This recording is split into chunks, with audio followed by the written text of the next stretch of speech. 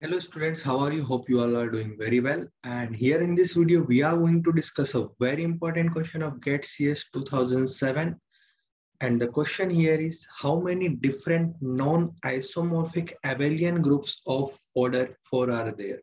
So if you have read the theory of groups and abelian groups, then if our order is p to the power k, the order of abelian group is p to the power k, where p is our prime number. Okay. Now the order given to us is 4. That is nothing but 2 to the power 2. Now there is a need of factorization, right? That is partition. Basically, if we'll say that partition. So how many partition of 2 is there? Only 2.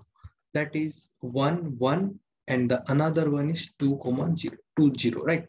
So only we have two partitions. So if we have two partitions, then different non-isomorphic forms are option A, that is 2. So I hope this question is very easy and all of you are got the answer clearly. Thank you so much guys. Have a very nice day. Do subscribe our YouTube channel, press the bell icon button and like the video. Thank you so much.